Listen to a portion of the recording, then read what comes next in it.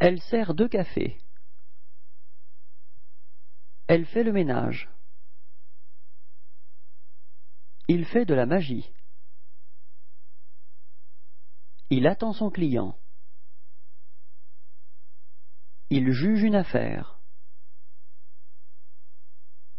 Il montre un collier.